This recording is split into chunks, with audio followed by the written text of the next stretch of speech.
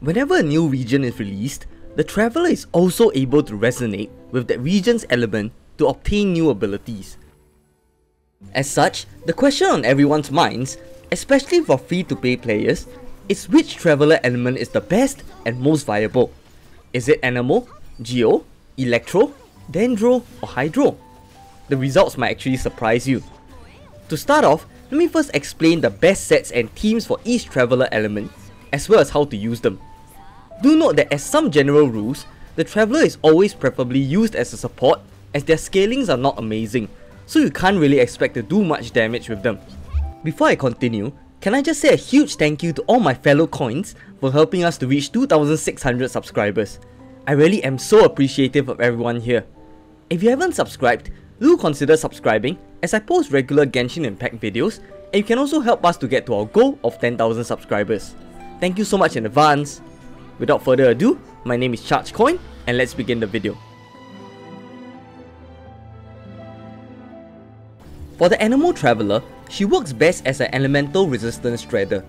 For example, she can work well with characters such as Lyney and Ayaka to reduce the pyro and cryo resistance respectively with her elemental skill, so that your DPS characters can deal more damage with the elemental resistance shred from the Viridescent Veneer artifact.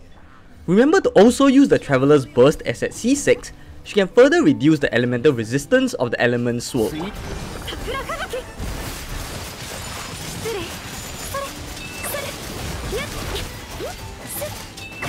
To make this team work, I use the Sacrificial Sword on the Traveler so that she can get her burst back up faster and use the Viridescent Veneer artifact set on her so that she can shred the elemental resistance of enemies with her skill.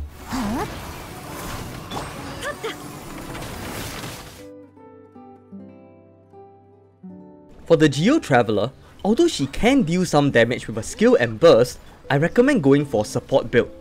As such, pairing her with another Geo character that can provide shields, such as Zhongli and Noelle, can give the Geo resonance, which will increase the damage done by your DPS characters when protected by a shield.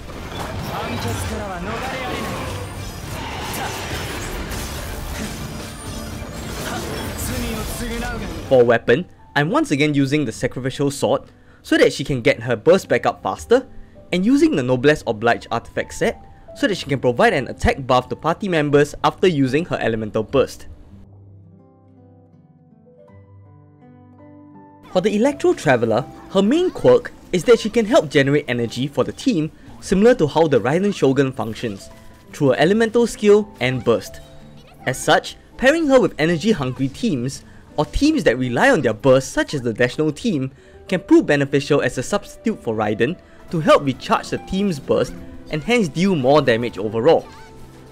For weapon, I'm using the Sacrificial Sword for the energy recharge to boost the energy that she can provide for a team and to get her burst back up faster.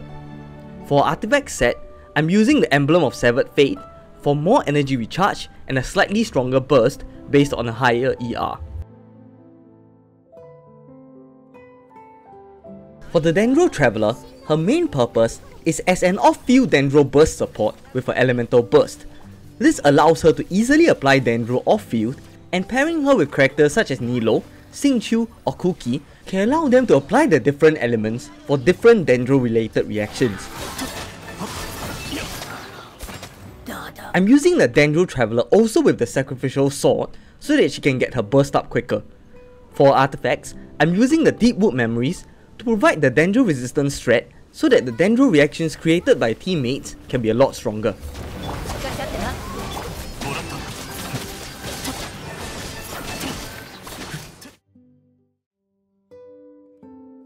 For the current last available element as of the Fontaine patch, we have the Hydro Traveler. I've tried multiple builds with the Hydro Traveler, such as acting as the Hydro Driver in the national team for Xiangling to reverse Vaporize, but unfortunately the Hydro application is lacking. As such, Instead, I reverted back to Hyperbloom team. Instead of using Xingqiu to provide the Hydro application, the Traveler becomes the on-field Hydro applicator to generate the blooms required for Kuki to create Hyperblooms with. For weapon, I'm also using the Sacrificial Sword so that she can get a chance to bypass her elemental skill cooldown and use her skill again for more Hydro application and generate more blooms. For artifact set, I'm just using the Deepwood memories so that she can provide the Dendro resistance shred for the Hyper Bloom reaction. Now that we have covered how to use all of the Traveler elements, which is the best? Coming in at number 5, we have the Hydro Traveler. While she can help to create Dendro reactions, she doesn't really provide as much Hydro application as we would like, and the fact that she stands still while using a burst means that she can be interrupted a lot more easily. At number 4, we have the Geo Traveler. Honestly, there really isn't much use for this Traveler outside of the Noblesse Oblige and Geo Resonance buffs, she can easily be replaced by other better characters such as Albedo. At number 3, we have the Electro Traveler. As there aren't many characters that can help to recharge energy for the team, the Electro Traveler in my opinion can be quite valuable if you don't have Raiden, especially for teams that are energy hungry. At number 2, we have the Anemo Traveler.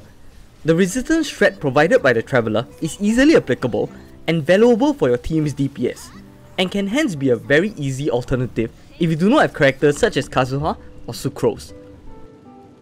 Finally, the best travel element at number 1 is the Dendro Traveler.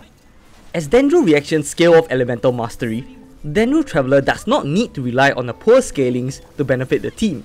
It is easy to provide Elemental Mastery for her through artifacts, or if the Dendro reactions are created by another character such as Kuki, you do not even need Elemental Mastery for the Traveler. Given how easy the Dendro Traveler is to build, and used with the off-field Dendro application, Dendro Traveler is the best traveler type that especially free-to-play players should be using. With that, we've come to the end of today's video. Which traveler would you be planning to use? Do let me know down in the comments below. If you enjoyed today's video or found it helpful, do consider subscribing if you haven't as it will really help out this small channel to reach the goal of 10,000 subscribers. Thank you, thank you so much. If you would like to see more on how you can create your own perfect teams, please click the video on the right. If you would like to see my other Genshin Impact videos, please click the playlist on the left. Once again, thank you so much for watching and see you next time. Bye bye!